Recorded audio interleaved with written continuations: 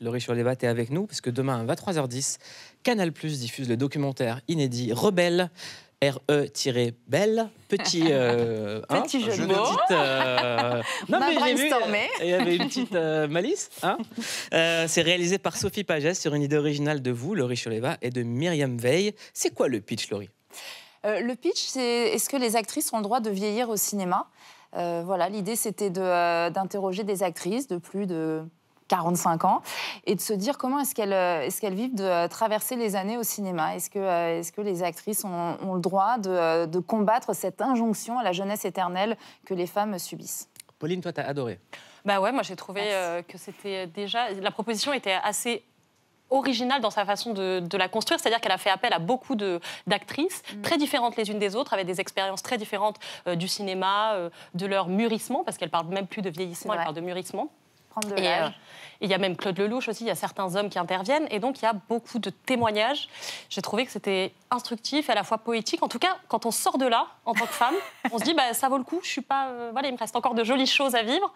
Tout n'est pas derrière. Bah oui, mais c'est pas évident. Effectivement, le le constat qu'elles font au début, c'est qu'on a l'impression, et particulièrement dans les métiers d'image, qui sont aussi les Mm. nôtres, qu'il y a euh, quand même une date de péremption. Et la vérité, c'est que non, et on comprend beaucoup mieux pourquoi. Charlotte, tu l'as vu? Ouais, je l'ai vu. Alors moi, au départ, euh, j'ai pas tant peur de, de vieillir. Et au, fu- au fur et à mesure, je me suis dit, oulala, là, ça commence à me stresser. parce que toutes ces femmes qui en parlent comme ça. Mais euh, non, c'est- génial. Et il y a des, tellement d'actrices euh, merveilleuses que Ouais, vous- à qui vous donnez la, la parole. C'est vraiment beau. Allez, la bande-annonce, c'est parti. Tout le monde a peur de vieillir, même les enfants. Les injonctions à rester jeune et belle sont tenaces. Et dans le monde du 7e art, plus qu'ailleurs.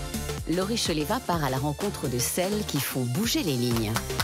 Ce qui est génial, c'est de pouvoir jouer de tout ce qu'on traverse dans la vie.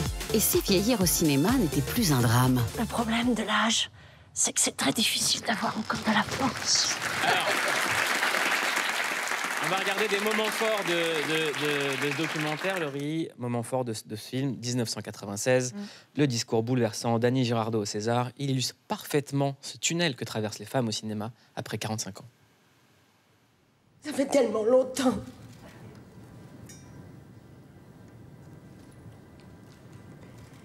Je ne sais pas si j'ai manqué au cinéma français, mais. À moi, le cinéma français a manqué. Follement. Éperdument. Douloureusement.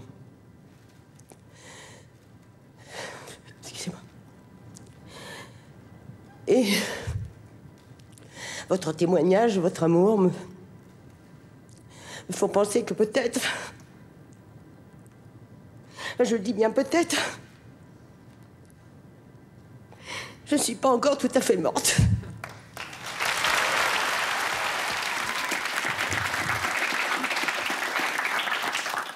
C'est fou parce que j'avais 16 ans devant ma télé quand euh, j'ai assisté à ce moment-là, en larmes. Et depuis, je l'ai revu maintes et maintes fois, notamment pour monter ce documentaire. Et à chaque fois, ça, ça me bouleverse, ce cri du cœur, de, ce cri de détresse d'Annie Girardot après une longue traversée euh, du désert qui obtient son, euh, son César. C'est c'est juste l'un des, des moments les, les plus forts qu'on ait vécu en. Pauline, tu as choisi un autre moment fort du documentaire. Ouais, alors moi, il y en a un qui m'a particulièrement touchée parce qu'on voit les actrices, mais on voit aussi une agente d'actrice. Mm. Elle s'appelle, euh, pardon, j'ai mangé son nom, Elisabeth Tanner. Elle est, elle est brillantissime. C'est elle qui a inspiré le personnage de Camille Cotin dans la série 10%.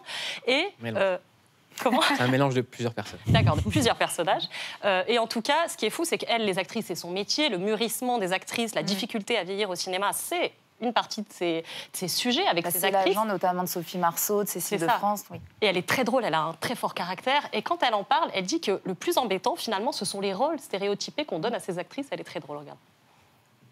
Par exemple, si vous avez 70 ans, alors vous êtes euh, à l'hôpital, en train de mourir, ou avec un Alzheimer, etc. Et à un moment, on peut peut-être avoir un peu plus d'imagination quand même, parce que là, ça devient un peu récurrent.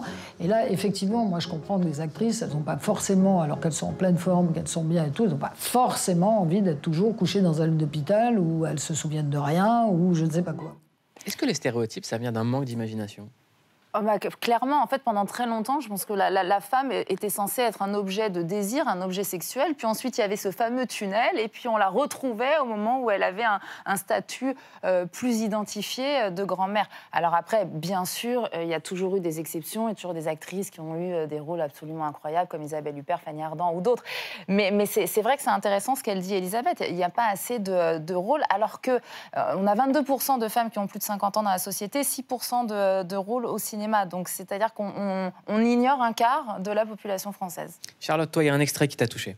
Ouais, c'est la, la magnifique euh, Jeanne Moreau, euh, réalisatrice, comédienne. Voilà, pour moi, elle incarne vraiment la femme puissante, intelligente, belle, euh, sous vraiment euh, à tous les âges. Et euh, vous mettez une- un extrait d'un- d'une interview de 1972 où elle explique que c'est pas nos traits qui nous rendent belles ou beaux, mais c'est ce que ces traits disent aux autres. Je détesterais en les dire, mais l'idée de vieillir ne me gêne pas. Ah bah oui, mais quand on vieillit, on n'embellit pas quand même. Ah, je suis pas d'accord. Ah, moi, je connais des gens âgés qui sont d'une beauté fantastique, beaucoup plus beaux qu'ils n'étaient quand ils avaient 30 ans. Et puis, ce qui compte, c'est ce qu'il y a à l'intérieur. Ce qu'il y a à l'intérieur, c'est l'esprit, c'est l'expérience de la vie. C'est ça qui est beau.